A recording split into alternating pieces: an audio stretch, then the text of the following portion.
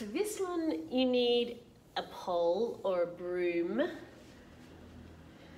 or not. If you don't have one, that's okay. You can do it without holding on. But it's really nice to have the pole. And while you're reaching your arms up, you just want to drop down into the mat. So you can think that your lungs are under the floor, that the floor is supporting you and holding you up so you don't have to hold any tension.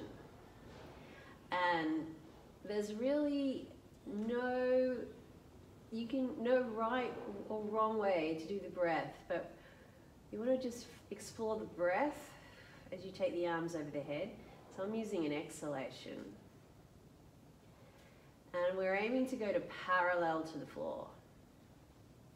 Then you're going to bend the elbows out to the side, parallel. I'm going to take a moment and I'm just going to breathe into the front of the chest, breathe out and open the pecs, the shoulder blades, collarbones, the chest.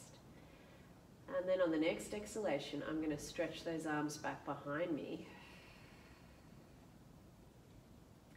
I want to feel like the rib cage is sitting on my shoulder blades and my arms are reaching away. And then the shoulder blades are hugging, they're sliding down and around the side of the rib cage to float the arms back up again.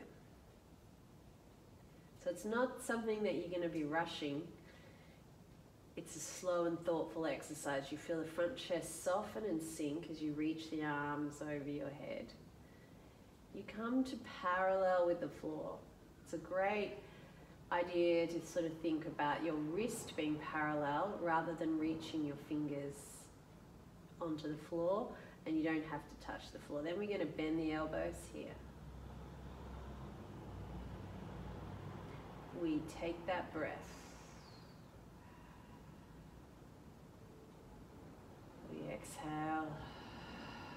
And we slide them back.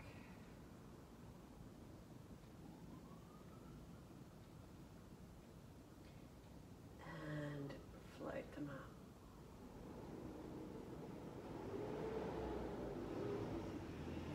Over the head.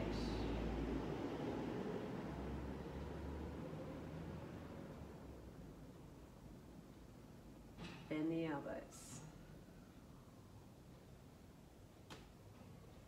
Relax the jaw, relax the skull. Stretch back behind you.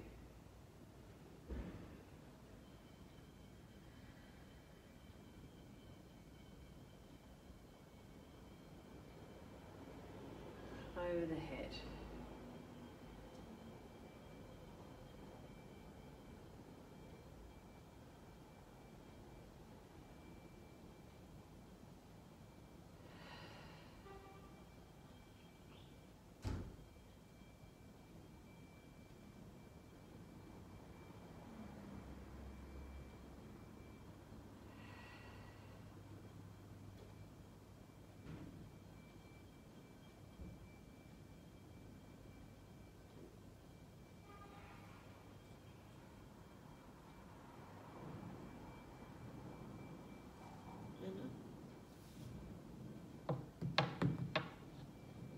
And then just allow your arms to settle onto the mat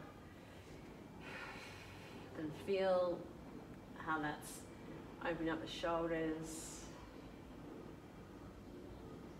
dropped your awareness back into the floor.